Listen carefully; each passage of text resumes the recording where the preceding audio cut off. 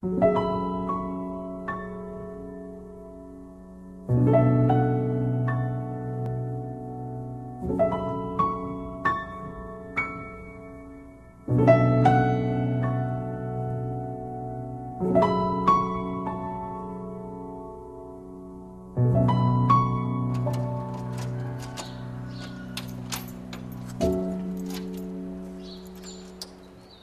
Здравствуйте. Мы продолжаем встречи с Николаем Мишустиным, руководителем Общественного комитета Гос, э, Государственной Думы по защите детей и семей от ювенальных технологий.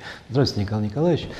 Э, Здравствуйте. Николай Николаевич, вот, э, ну, как бы немножко уже поутихло, но тем не менее в памяти э, до сих пор вот этот шок, который вызвало, э, значит, так называемое Евровидение с победой так называемых победителей, вот как там Кончита, это он, она, оно, что-то с бородой, вот, но как бы вот как мы увидели впоследствии, это имело некие продолжения, то есть во всяком случае это можно совершенно воспринимать не просто как какой-то артефакт очередной, так сказать, вот почудили в Европе, да, а это, в общем-то, как мы видим, часть э, совершенно целенаправленной политики, причем э, во многом заточенной именно против России, поскольку, так сказать, э, ну, как, как мы видели все вот эти последующие события, как вы вообще оцениваете вот это все?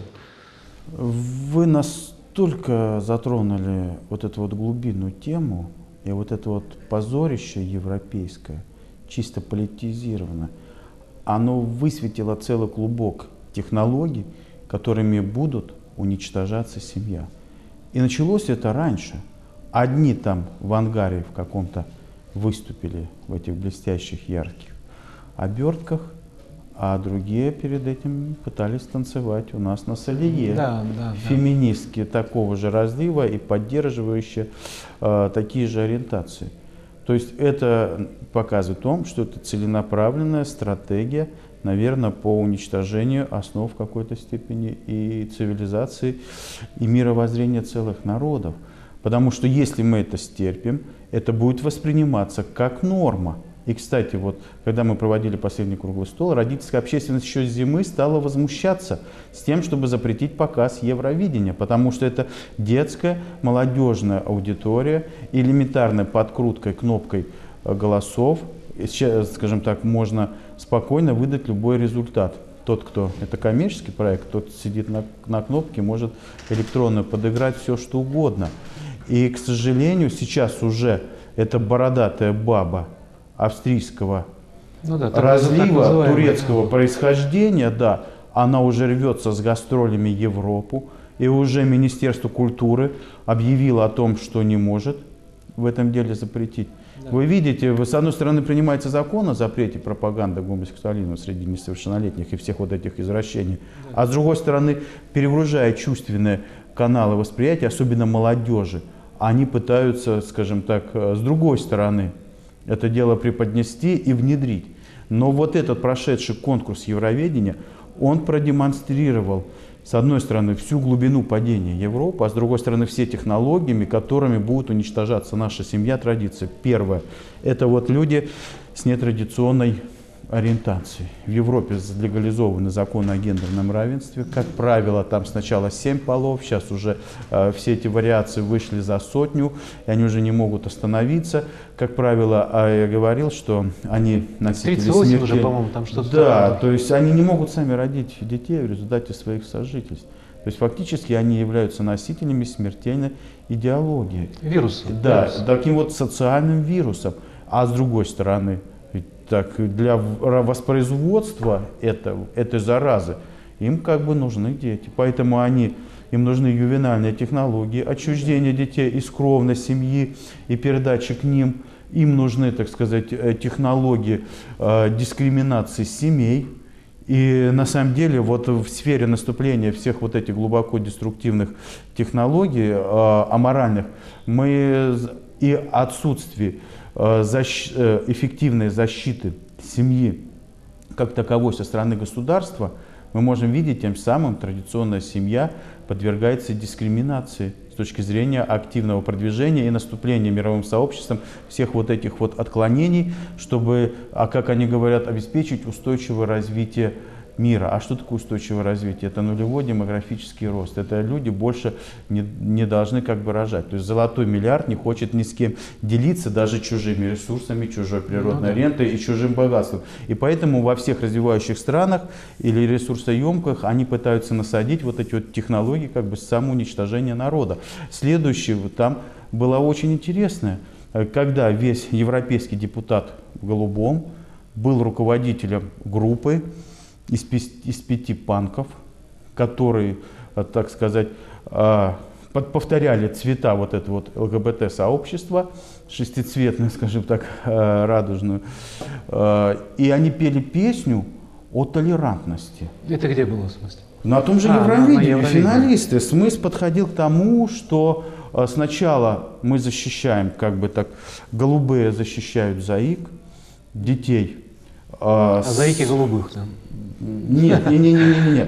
То есть вот у нас, когда внедрялись эти программы по толерантности, то есть я обратил внимание, там был заряжен такой концепт, да, сначала защита людей с некими такими органическими дефектами развития или недостатки, а потом такое же толерантное отношение к людям Маленький с дефектами просто. воли и сознания. Да, да, да. Как бы вот эта вот толерантность, так сказать, а, подмена, подмена идет понятий, а вот это продемонстрировало, что, так сказать, в чем смысл они вводят толерантностью. То есть сначала защита людей с дефектами развития, а потом защита э, детей, э, людей, так сказать, с дефектами сознания и воли. Ну, то есть и такой это... гумани- гуманизм без края. То есть сначала без, да. там, безбарьерность, да, прекрасно, все за, да. так сказать, инвалиды, бедные. Да. Это потом. Да. Ну, а вот, потом а, переход ну, вот, сразу да, другой. Да, да, да. Ну, вы знаете, занимаясь московскими проблемами, Э, знаете, могу вопиюще наблюдать совершенно явление, когда вот сейчас специальные коррекционные образовательные учреждения,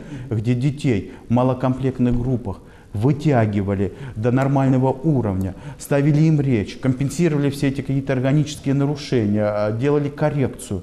Сейчас все эти детские сады коррекционные разваливают, ребенка закидывают в общую школу, разговариваю с педагогами, они говорят, у нас получается дикая ситуация, ненависть в классе, которая эта толерантность никак не преодолевается. Либо я работаю на этого ребенка, пытаюсь вытянуть его любой ценой, хотя я сам не дефектолог, у меня нет соответствующего образования, чтобы в общем классе ну, этого ребенка вытаскивать. Сократили этих специалистов. Да, да, да, да, да, да. Либо весь остальной класс начинает надо мной над ним смеяться, ему неинтересно. Либо я работаю со всем классом, со средним уровнем, тогда ему не уделяю а, внимания, и он начинает э, неизбежно отставать. Вот эта инклювизация, скажем так, которую нам внедрили, у все наши традиционные нормы социализации этих детей упразднились, и отработанную десятилетиями очень эффективную систему их ресоциализации, вот все это в один коктейль сливая в общественную школу, с этой инклювизацией, с этой толерантностью, это на самом деле э, вызывает наоборот противоположные эффекты. Но зачем эта толерантность нужна? Вот это, так сказать, во главе с голубым депутатом европейским, эта песня продемонстрировали. Но там был еще венгр американского происхождения – который спел песню о домашнем насилии и тоже стал финалистом.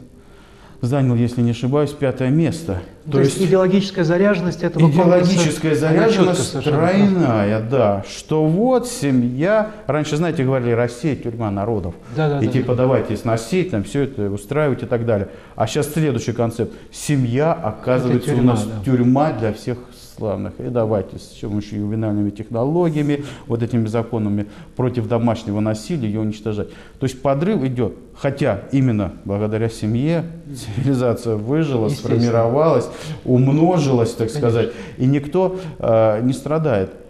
А, Николай Иванович, смотрите, у нас получается некий зазор, как я понимаю, в государстве. То есть, с одной стороны, последние два года особенно, да, и в лице, так сказать, президента нашего Путина, э, и в лице, там, допустим, того же Астахова, омбудсмена детского, и, так сказать, ряда, в общем, достаточно весомых государственных э, людей, структуры, в Госдуме в той же, э, высказываются концепции, принимаются законы, которые, ну, явно, так сказать, идут в защиту традиционных ценностей. Причем именно, как бы, Россия в этом смысле становится, по крайней крайней мере, вот чисто внешне, да, неким центром притяжения, да, центром организации, центром сборки, как бы сказать, э, традиционных, традиционных ценностей. Противовес, так сказать, той толерастии, которая, как бы сказать, в мире, в Европе, в Америке разлита. Это с одной стороны. Да. С другой стороны, это очень хорошо. С другой стороны, ковчегом спасения. Изну, изнутри, то есть на, на другом контуре. Это вот контур, так сказать, внешний такой мегаконтур, да. На контуре э, таком, так сказать, деловом, конкретном, да, бытовом идет э, совершенно противоположные тенденции, причем они идут от людей, э, исходят от людей, вот, ну, скажем, гораздо меньше чиновных, да, но тем не менее действующих очень четко, так сказать, э, и по, каких, по какому-то, может быть, плану, да, то есть получается, что ну, как одна рука строит, созидает, так сказать, другая рука из-под низу вот это все ломает, так сказать, мешает и так далее. Как это все объяснить? Да вы знаете, ну как объяснить? Ну, Америка призналась, что 5 миллиардов долларов продолжая холодную войну гражданскими средствами, они вложили в Украину.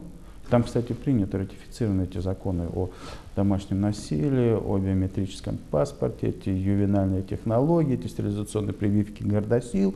И мы видим, к чему пришло запуск крайне деструктивных тех, технологий по атомизации общества. Сначала они всех разделяют любыми, раздирают, даже семью раздирают, детей отделяют, все, а потом из этого разодранного, атомизированного социума, э, где нарушена преемственность, связь поколений, где да. нет соответствующего образования, где идет дебилизация детей. У нас, кстати, в системе образования те же самые технологии на 95% запущены по не образованию, а дебилизации в какой-то степени но, детей. Но получается, у, да. нас, у нас их не, им, так сказать, хоть как-то противодействовать, Вы знаете, ну, а там никак говоря, не мы начали, да, противодействовать. Нет, с чего мы начали противодействовать? Когда мы проводили круглый стол в Государственной Думе «Вставайте, люди русские» в 2011 году, это началось с того, что, вот я всем говорю, представитель Народного собора Украины, э, э, Друз Игорь Михайлович, он приехал и рассказал о всех этих пилотных Э, законопроектов европейских, о ювенальных, об электронном паспорте, о технологиях вот этих, о семейном насилии, которые сознательно заряжаются, активно финансируются во всех странах э, СНГ, чтобы разрушить их изнутри. И после, только после этого начали внимательно смотреть все законодательство и их находить. Вот именно только благодаря его предупреждению с Украины мы, скажем так, вот остановили этот закон о гендере. И у нас это внедрялось под всевозможными лукавыми формулировками. И, кстати, вот именно тогда общественность стала возмущаться, возникло мощное просемейное, прородительское движение по всей стране. Вот меня уже там в Туле мы проводили, залы перегружены, в Ханты-Мансийск приглашали, до этого в Пскове, в Нижнем Новгороде. То есть везде родители начинают самоорганизовываться. То есть они понимают, к чему это все идет, я как говорю, уничтожают веру. Что такое вера? Она передается традициями, преемственность, она в поколении, а, то есть разрывается ювенальными технологиями. А, значит, наша вера. Надежда. Это наши дети, это наше будущее. Уничтожают нашу надежду. И третий аспект – это вот всеми этими технологиями о домашнем насилии уничтожают бескорыстную жертвенную любовь, на которой всегда стояла наша традиция. То есть эти законы уничтожения веры, надежды, любви. И внедряются именно для подрыва э, страны изнутри, под этого лукавая статистика, еще массу аргументов подводится. Но, как видим, вот на этом конкурсе эти все европейские изобретения, до чего они довели Европу, уже всем очевидно.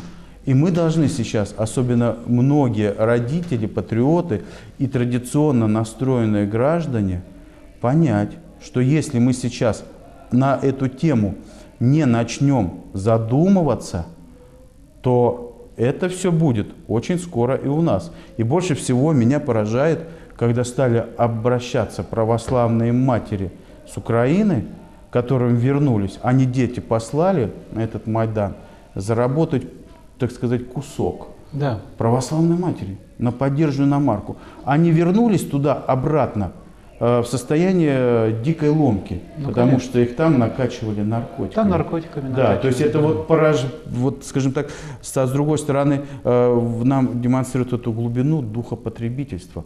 Но тут еще другая выползает из этого проблема. Ведь, э, с одной стороны, вот вернемся к этим закон, законам о домашнем семейно-бытовом насилии, которые как бы уравнивают, э, главенством уничтожают мужчины в семье, всех Это то, о чем мы говорили да. в прошлой вот, передаче с вами, Да, да? да. Вот представьте, летит самолет, да? И во время полета выходит из самолета пилот, садится со всеми и говорит, я такой же, как вы, там любой садись за штурвал и лети. Чем это закончится? Ну да, да. А ведь посмотрите, у нас затонула Булгария, капитан спасался первым, ничего не делал. Затонула Конкордия, Ну да, да. Капитан вышел, спасался первым, такой же, как и все, мне своя шкура дорога. В Северной Корее что сделал капитан? Понимаете? И вот когда Булгария тонула, там два корабля проходило мимо, зарабатывали деньги, никто не остановился, чтобы спасти пассажиров.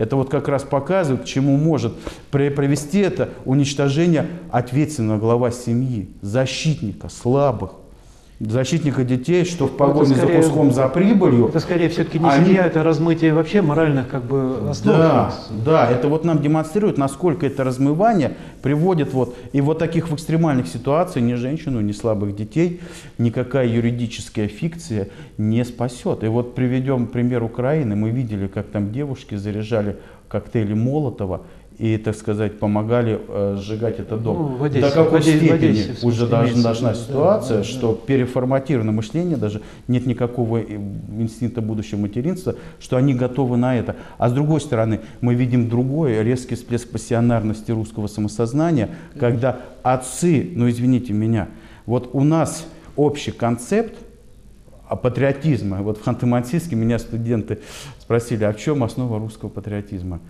Вы знаете, и вот сейчас им отвечаю. Вся Россия это была многодетная. Когда тот, который шел в армию служить даже на 25 лет, он защищал свое отечество, своего брата, своего семью, всех, которым отец дал его отчество, еще на дальних подступах.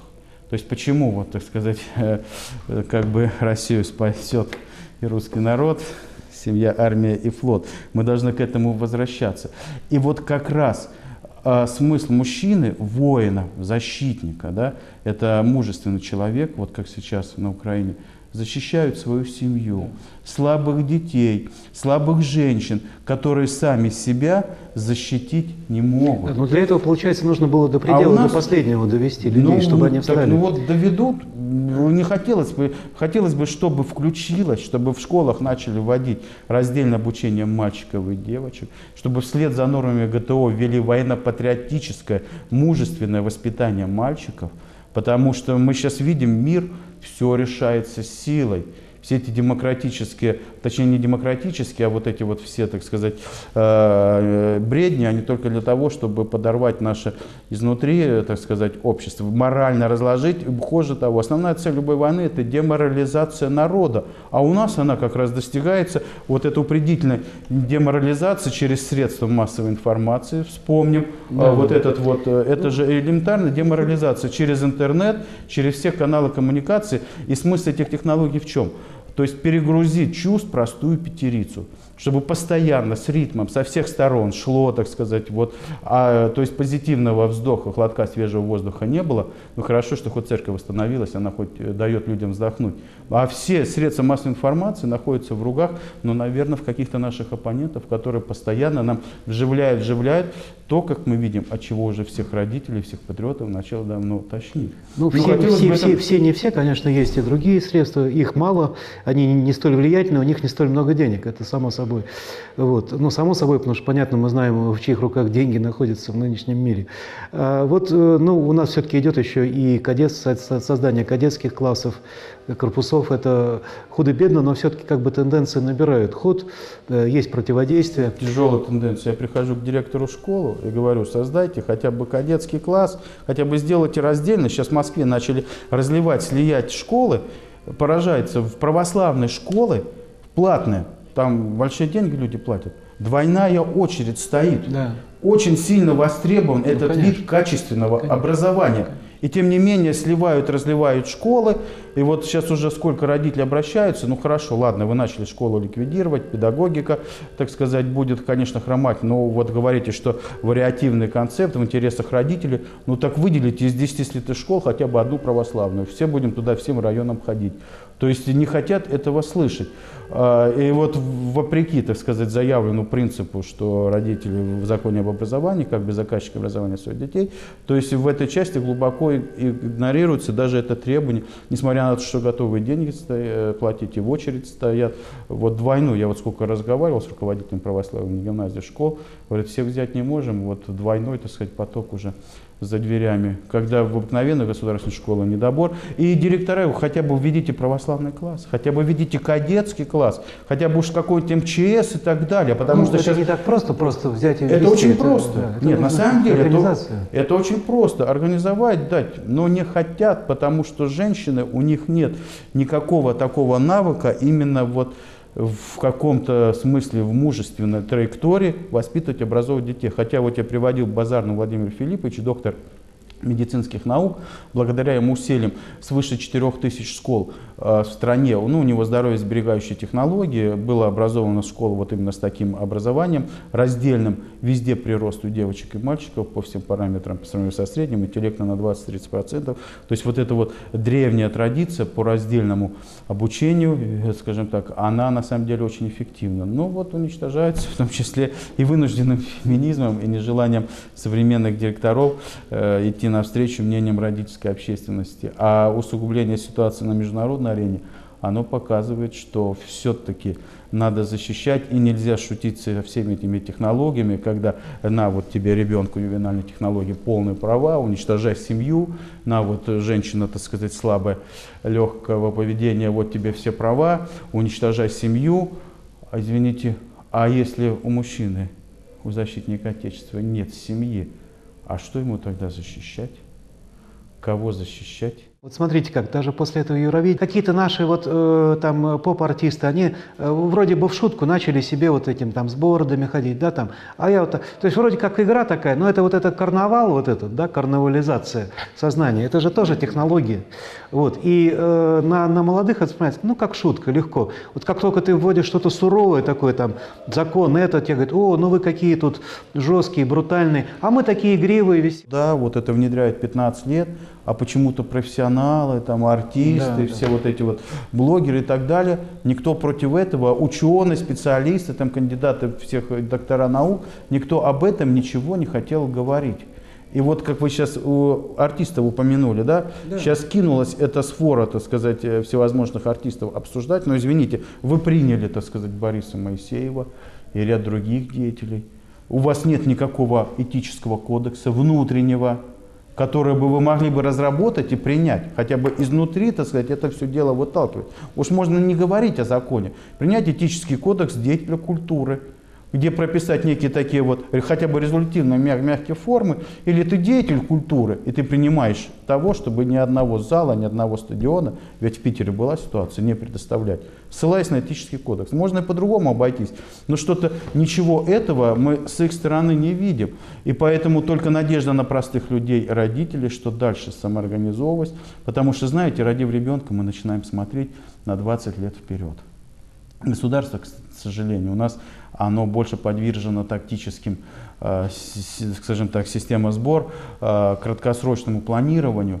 Но вот тут мы подходим, когда вот я начал анализировать, могу назвать около сотни этих законопроектов, которые нацелены на разрушение э, вот этих вот заповедей. Послед, да. Последних времен, в смысле? Вы да, ну то есть вот э, чти отца и мать, ювенальные технологии разрушают. Не прелюбы сотвори, да? Не сотвори действия, разрушающего любовь от имени государства принимается закон о вот этом, о профилактике и предотвращении насилия в семейной бытовой сфере, то есть от имени государства законом гражданин имеет право сотворять действия, уничтожающие любовь. Понимаете, так по каждой заповеди десятки законопроектов можно назвать, которые лукаво подменяя терминологию, выходя, так сказать, вот в эту, в, в, в, в общую в сферу морали, фактически ее уничтожают через призму вот этого правового регулирования, избыточного и ненужного. Поэтому... Ну что ж, самое, самое главное здесь, ну, кроме того, что, естественно, верить для православных и молиться, потому что молитва – самое сильное оружие. Но при этом, при всем, вот вы делаете прекрасное дело, и, конечно же, нужно подключаться как можно большему количеству людей, просто просвещать, хотя бы давать людям, людям знать, понимать, что значит этот закон, что он не значит, что значит его принятие. То есть вот это вот действие, оно, конечно, бесценно, потому что его, его нужно как бы, нужно действовать сетевым способом, вот они действуют сетевым. Нам тоже нужно, так сказать, иметь сеть, э, в хорошем смысле сеть, то есть где будет э, людям рассказывать. Здесь так, на уровне, они действуют на уровне скрытом, э, как сказать, кластерном таком. Значит, нам тоже нужно создавать свои кластеры. А так, Согласны? так и происходит. Вот можете зайти, там родительский отпор ВКонтакте, оставить сообщение, найти то меня. Вот люди собираются, приглашают, ездим, выступаем, объясняем, чем мы занимаемся, как с этого бороться. Создаем на местах рабочие группы, объединяем родителей. И могу сказать одно, везде, где сформировались родительские комитеты, они уже начали, скажем так, пытаться воздействовать и повторять вот эти вот резолюции. Ведь фактически вот эта резолюция, которую мы в Госдуме приняли, это в Свердловске в общественной палате состоялась, э, в Туле в общественной палате состоялась, о, не, ну вот в администрации и меня поразило, когда мы туда приглашаем чиновников, пришли представители всех приходов, весь зал, 200 человек не выдерживает, забит. Туда пришли чиновники от образования, вплоть до министров, все региональные. И при, приехали люди из Москвы, специалисты, там Ирси, э, Ирина Берсет, там, вот, меня позвали. Мы выступили перед аудиторией, перед чиновниками, и меня больше всего удивило, там тоже был пилотный регион по внедрению всех этих электронных технологий, ювенальных, и там прям в ходе, так сказать, докладывания они перечеркали две трети своих докладов и стали перед... Э, они вдумались, просто включили, Они просто включили вдумались, мозги. мы им все это раскрыли, они увидели, и они стали говорить о том, что действительно вот мы, так сказать, должны образовывать детей, защищать полностью подтверждение давайте, ваших слов. Давайте работать, чтобы мозги включались и у чиновников у наших, и у просто у простых людей, чтобы они понимали, что с ними делают и, так сказать, что им, куда, в какие стороны ни в коем случае не надо ходить. Спасибо, Спасибо за беседу, мы еще будем встречаться. Спасибо.